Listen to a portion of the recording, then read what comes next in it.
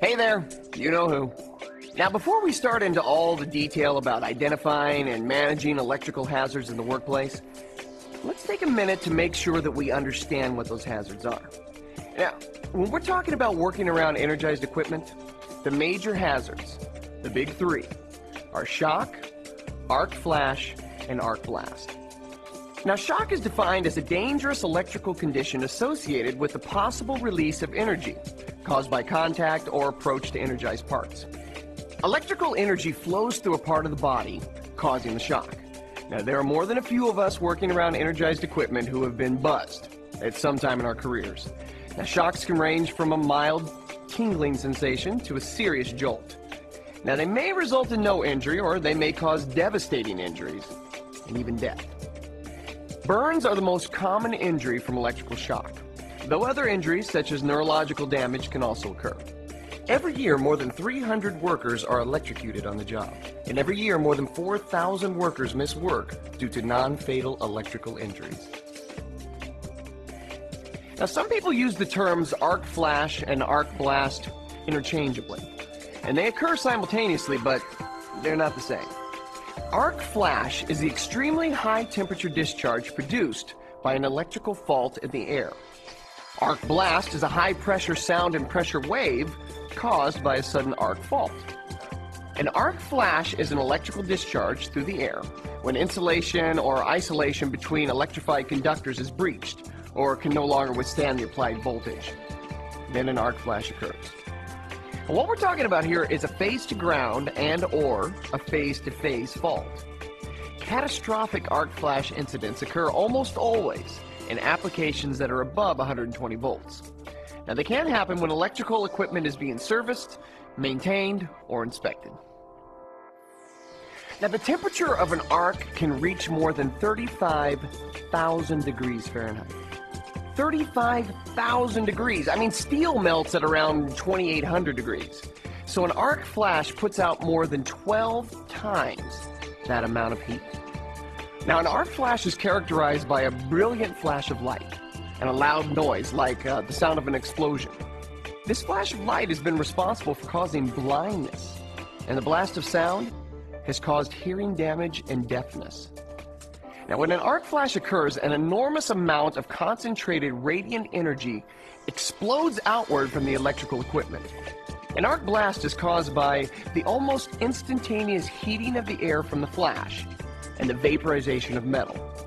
Hot gases and melting metal fill the air like shrapnel. People who have been victims of an arc blast have had pieces of metal embedded in their skin, their bone, and even in their teeth. Now, as you can imagine, this blast of heat can cause severe burns. And in many cases, arc flashes or blasts have killed a worker right on the spot.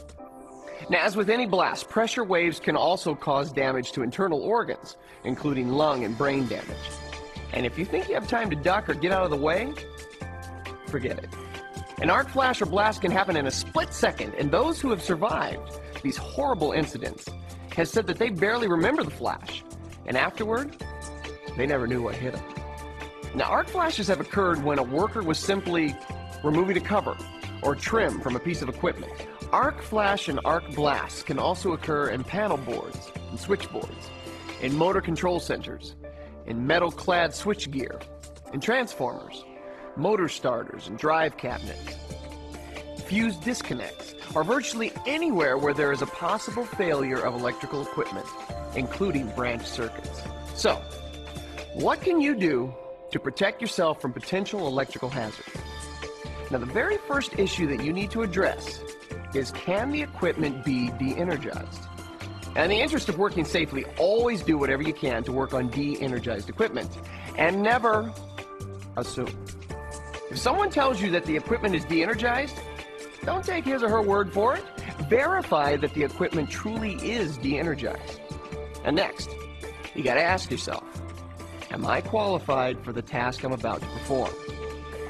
Are you able to distinguish energized from de-energized?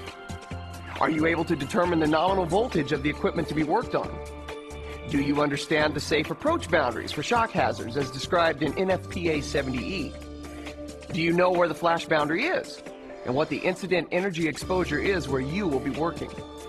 And do you have the decision-making skills necessary to determine the magnitude of the hazards and how to protect yourself through job planning and PPE? Now, if you answered no to any of these questions, you're not qualified. And if you aren't qualified to do the job, don't do it. I mean, it's as simple as that. And by the way, for more information about job planning, check out the job planning program on this DVD. Next, you need to do a hazard analysis. Now complete the analysis by identifying, eliminating, or reducing as many hazards as possible. Once remaining hazards are identified, then determine the level of PPE that you need to do the job safely. Procure the PPE, and make sure that you've had training on the equipment and the procedure at hand. And this training should include how to recognize and avoid hazards, the PPE policy, the energized electrical work policy, lockout tagout procedures, and requirements for achieving an electrical safe work condition. Okay, now let's talk about your personal protective equipment. Now you know the old saying, the best PPE in the world does no good if you don't use it, and use it correctly. Now, those who do not wear protective clothing while working on or around energized equipment are not only in violation of the standard, but are foolishly putting themselves in harm's way. The heat that is generated by an arc flash has the potential to ignite non-flame resistant clothing. Polyesters and other man-made materials such as acetate, nylon, polypropylene, and spandex may melt to the skin, causing second and third degree burns. The most recent edition of 70E includes requirements for basic protective clothing and PPE, based upon arc flash potential at the worksite. Now, other hazard levels or other tasks require clothing to be determined by detailed analysis. 70E even provides charts to help determine the level of proper protection required for working around energized equipment. Now, these charts work together, and you should become familiar with them. The first is a set of tables that assign hazard risks, 0 to 4, that signify the amount of energy that could be generated by an arc flash. The higher the potential energy, the higher the hazard risk, and the greater the thermal protection required. 70E also provides personal protective clothing and equipment matrix with suggested levels of clothing and or equipment needed per hazard risk category number. For instance, Untreated cotton, wool, rayon, silk, or blends of all these materials are examples of non-melting flammable materials that are acceptable for hazard risk category 0. Now anything higher than hazard risk category 0 requires FR clothing in minimum calorie levels as designated by the current 70E standard. Now these are minimum suggested calorie levels with recommended undershirts and underpants to be worn as underlayer. For hazard risk categories 1, 2, 3, and 4, determined from the tables, there are specific minimum calories per centimeter squared levels of flame resistant clothing required. Now, while there are protective clothing systems designed for use up to 140 calories per centimeter squared, when working on equipment with greater than 40 calories per centimeter squared, additional engineering controls should be taken to attempt to minimize the risk and energy levels prior to attempting the task. Now take care of your PPE. As you're well aware, these items, they're not cheap. Follow the manufacturer's care instructions found on the label. Voltage rated gloves and sleeves are a vital part of the PPE system. Wear them. Clean gloves and sleeves of foreign substances and remove any traces of oil or other flammable or combustible materials. Gloves, sleeves, and blankets must conform to ASTM standards and must be marked with dielectric test dates. Using gloves over six months after their test date is a violation. Inspect your PPE before putting it on. Look for holes, tears, punctures, cuts, swelling, softening, hardening, loss of elasticity, and stickiness. If you see a problem with the PPE, remove it from service.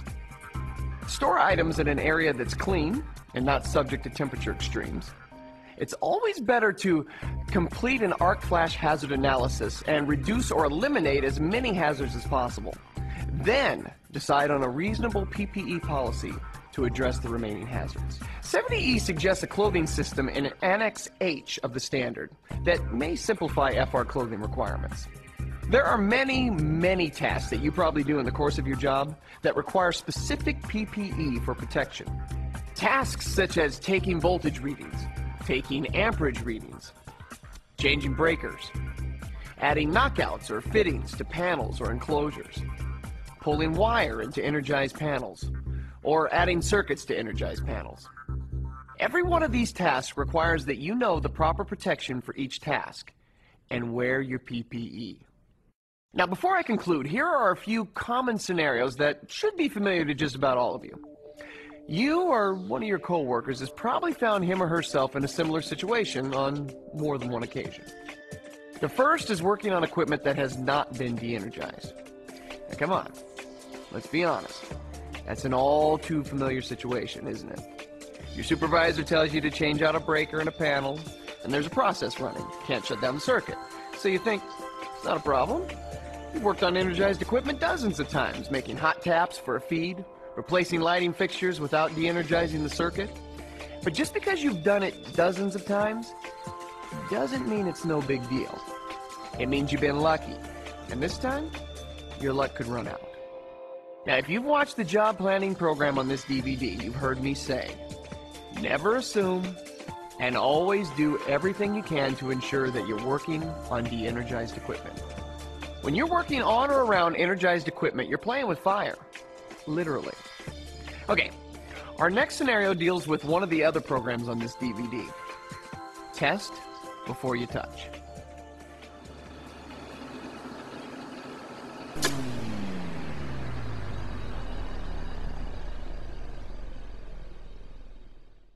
Now, a couple of things here. First, when you pull the disconnect switch, don't assume that all the blades are disconnected especially in a facility with a lot of airborne dust and debris or other environmental issues. The blades can get easily stuck. Could be only two of the three blades open. But what about that last blade? You gotta open the box to verify. Uh, but we heard the motor shut down. I mean, that proved there was no power to the equipment, right? You see, that's, that's a very dangerous assumption. Even though the equipment shut down, with one blade still engaged, there could be enough energy in that circuit to kill you. And another thing, what happened to lockout, tagout? Even if you're doing only a five minute project, you gotta lock out that circuit if you possibly can. And as you can see by this example, even the lockout, tagout procedure is potentially hazardous until the disconnects have been proven to work and the voltage has proven to be off. Let's look at scenario number three, lack of respect for electrical hazards. Now look at Bill. Because he's working on what he considers to be a low voltage job, 480, he feels like he doesn't need gloves, or any other PPE for that matter. Now he's done jobs like this a bazillion times. Wires have never come loose, hands have never slipped, tools or parts, they've never fallen. Now when you've gotten away with sloppy work habits for years and years, some guys become complacent. Complacency created by lack of respect for electrical hazards. And believe it or not, Complacency can get you killed just as sure as incompetence. Use the proper PPE required to do the job safely. Now, you may have dodged the bullet for years and years, but this could be the day you get hit. Don't take unnecessary risks to put yourself at risk. Now, this last scenario is something that we need to all think about every time we go to work. Are you being set up? I mean, Bill started out on the right foot. He's had his job planning meeting this morning. He's got the right PPE, and he's taking all the necessary protective precautions. But what he doesn't see is the top of that box. There's a knockout that's been left uncovered. Now, we all know that holes are supposed to be covered, but for one reason or another, that hole has been left open for months, maybe longer. Check your work area around energized equipment. Has someone unintentionally set you up? Are there tools left where they shouldn't be? Fuses, screws, Suppose Bill's got a fight to get that door open on the panel. And suppose one of those screws drops right down in that hole. Now, poor Bill ends up with an arc flash or an arc blast with his face inches from the interior of that box. Take a few minutes to check. It can save your life. That gives you a brief look at Electrical Safety 101 for all of you who work on commercial and industrial job sites. Now remember, this video is not intended as a training program. It's an overview. For more information, refer to the latest edition of the NFPA 70E. And keep in mind, almost any job you perform while working on or around energized equipment has the potential to put you at risk. Serious risk. So make sure that you and your coworkers are adequately protected, don't take shortcuts, and never assume.